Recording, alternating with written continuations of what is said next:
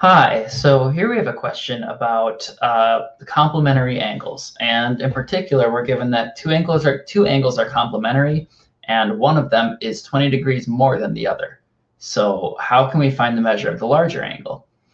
Well, we have to remember what complementary means. So two angles are complementary if they sum together to equal 90 degrees. So we know we have two angles that are going to end up summing to 90 degrees, and one of them is a bit larger than the other. So this is what our picture will start to look like.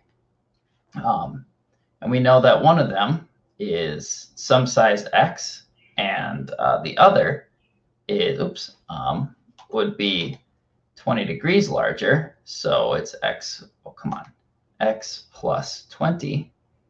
And so now we know that x plus x plus 20, or our smaller angle plus our larger angle, well, we know that since this giant angle is 90 degrees, this is equal to 90.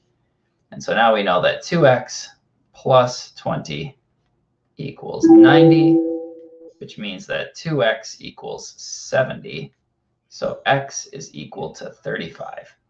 And this we're going to check to make sure is, uh, is true. So if our one angle is 35 degrees and our other angle is 20 more than that, then it must be 55 degrees.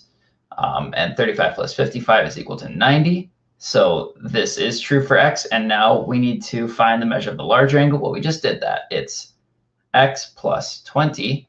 And when x is 35, that's 35 plus 20. So our answer is 55 degrees.